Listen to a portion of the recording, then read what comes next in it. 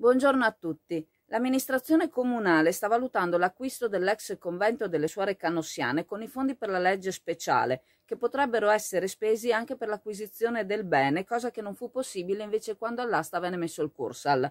Ora la spesa è relativamente irrisoria, la base d'asta per il complesso parte da soli 710.000 euro, ma l'offerta minima è di 534.000. La spesa iniziale non è preoccupante, conferma il vice sindaco Marco Veronese, ma le spese successive di riqualificazione del bene e destinazione d'uso invece sì. Il progetto per la gestione deve essere presente nel momento in cui si può eh, valutare l'acquisto, anche in compartecipazione. Pertanto l'amministrazione sta pensando di coinvolgere l'Università di Padova che sta completando a San Domenico il centro di biologia marina. Questo mm, per la realizzazione ha speso 3 milioni di euro. Il comune di Chioggia vi ha partecipato con 1 milione e 200 mila. Lo leggo su Chioggia Azzurra. L'appuntamento di culto con la pizza sottomarina torna finalmente a incontrare i suoi tantissimi affezionati e ad accoglierne di nuovi. La pizzeria da Leo in via Padova 1 è aperta tutti i giorni dalle 17, anche su ordinazione. Contatta quindi il numero 041 55 40 550 dalle ore 16 e prenota la tua pizza preferita. La pizza da Leo ti aspetta! Mattina Comune di Chioggia e Anas hanno fatto il punto sul cantiere sul ponte sul Brenta. Hanno partecipato il responsabile della struttura territoriale di Anas, il responsabile della gestione della rete in Veneto, il sindaco Ferro e la consigliera regionale Erika Baldin. ANAS ha stabilito di intensificare la presenza di movieri nelle ore di maggior traffico per gestire in modo migliore le emergenze, disponendo anche il controllo da remoto dei semafori che regolano la circolazione a senso unico alternato. Lungo la Romea sono state posizionate le tabelle con i suggerimenti con i percorsi alternativi. Sui tratti auto- autostradali nei pannelli digitali sono stati inseriti messaggi indicanti la coda sulla Romea e il suggerimento di mantenere la direzione autostradale. Per quanto riguarda le pensiline alle fermate dei bus extraurbani se ne riparla dopo il 17 maggio, invece dopo l'estate inizierà l'intervento per la rotatoria a Valle di Chioggia. Lo leggo su Chioggia Azzurra. AgriFree è un'azienda di Portoviro che coltiva grani biologici a chilometro zero in pieno parco del delta del Po. Dalla macinazione a pietra del proprio grano ne ricava la semola e le farine bio, che vengono successivamente utilizzate per produrre pasta bio e altri prodotti come gallette, grissini, biscotti e piadine. Il nostro motto è vivere bene, mangiare sano, prodotto italiano. AgriFree, i sapori del Delta. Per info 338 344 7466 oppure www.agrifree.it. Il servizio di pubblica assistenza svolto dalla sezione clodiense della Croce Verde cerca volontari non sanitari, quindi anche senza aver svolto il corso di primo soccorso, per supportare l'afflusso degli utenti al del centro vaccinale in Val d'Ario Inoltre i volontari assistono la popolazione attraverso la consegna di farmaci, la pratica della spesa e altre piccole necessità. Tanti sono i ruoli disponibili necessari alla volontà di aiutare chi ha bisogno. Per informazioni è possibile contattare il numero telefonico 04 26 22 21 5. La Commissione consiliare urbanistica ha vagliato una relazione tecnica preliminare per una variazione del piano regolatore. A fronte di 400 ettari attualmente previsti dal piano regolatore, appunto, sarà messo lo sfruttamento solamente per 226. Ciò in adeguamento alla legge regionale 14 del 6 giugno 2017 che introduce nel quadro normativo il consumo del suolo.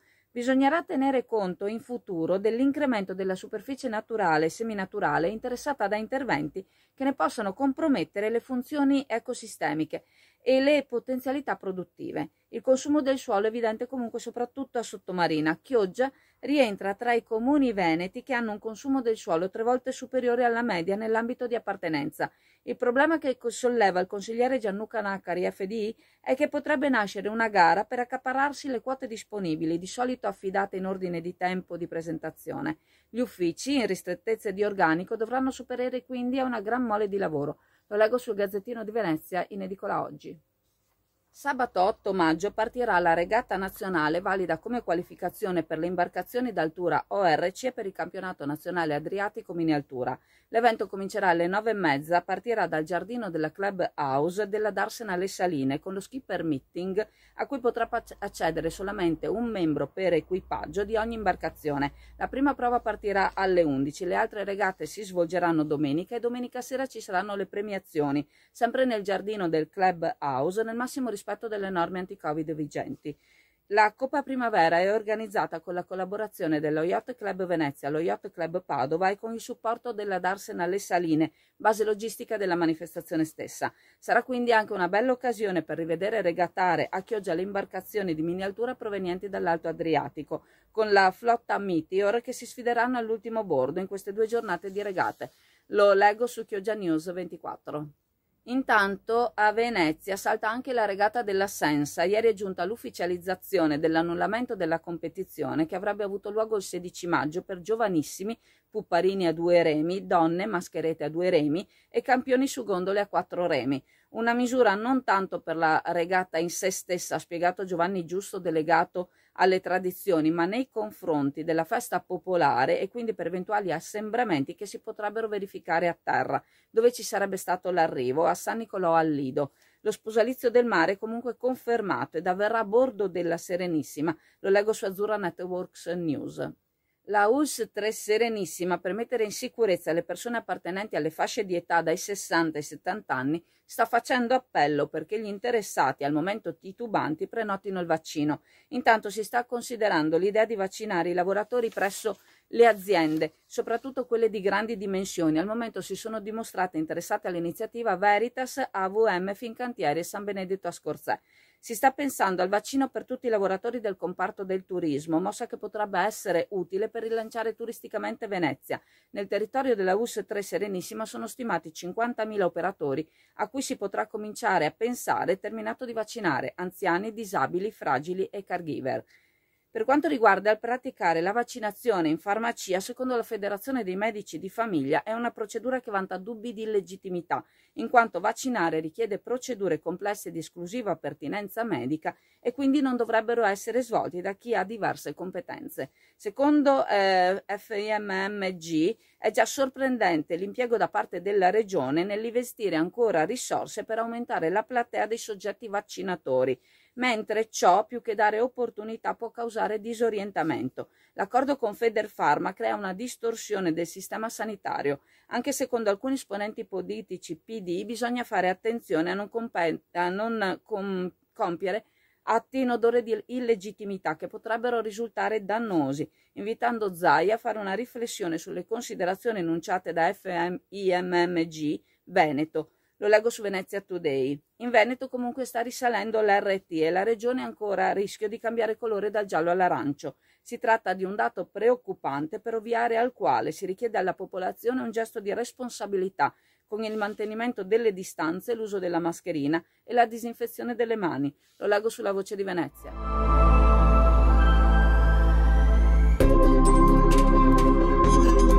Anche a Chioggia, presso Parco Commerciale Clodì, puoi acquistare il tuo mezzo di trasporto del futuro.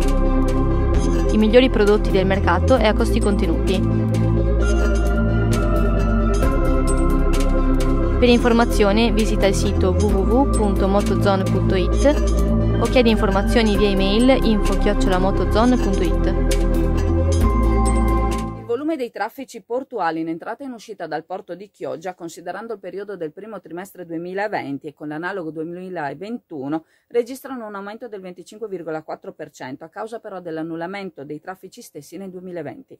Negli ultimi 12 mesi invece c'è un calo di quasi il 20%. Secondo la Zincone, commissario straordinario dell'autorità sistema portuale, la riduzione dei traffici è una conseguenza diretta della crisi economica dovuta al Covid, ma ci sono interessanti segnali di ripresa, bisogna soltanto attendere che riprendano tutte le attività. A Venezia in particolar modo deve riprendere il settore container, che però è legato al completamento degli interventi di dragaggio. Lo leggo su pressmare.it.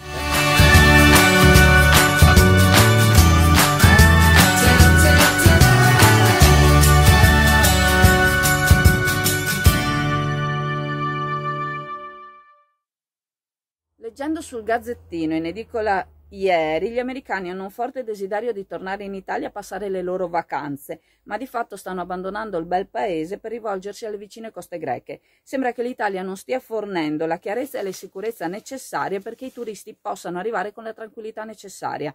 Grecia, come Spagna e Islanda, hanno aperto le frontiere ai vaccinati, come non sta facendo l'Italia. La confusione che provoca già negli italiani il cambio di colore tra regione e regione si amplifica perché deve affrontare un lungo viaggio e deve farlo con la certezza che tutto fili senza problemi, inclusa la possibilità di spostarsi dove meglio si crede. Inoltre, i turisti vedono il rilento con cui prosegue la campagna vaccinale e neppure questo contribuisce a dare certezze. I turisti americani spesso non sono giovanissimi, temono il virus più di altri e rimproverano gli italiani la mancanza di disciplina nel mantenere il rispetto per le norme anti-Covid, punendoci per questo scegliendo mete diverse. Temono anche di ammalarsi in Italia e di essere costretti a rimanere qui bloccati, Invece in Messico all'arrivo fanno il test, garantiscono in caso di contagio la copertura medica e l'assistenza a proprio carico, per questo hanno alberghi e strutture colmi. Per accaparrarsi gli ultimi americani ancora dubbiosi sulla meta Italia serve che tutto il comparto turismo crei un protocollo di accoglienza che possa rassicurare il turista a 360 gradi, pubblicizzandolo al mondo intero con un'intensa campagna pubblicitaria. Intanto si suppone che l'immunità di gregge in Veneto possa arrivare per fine agosto.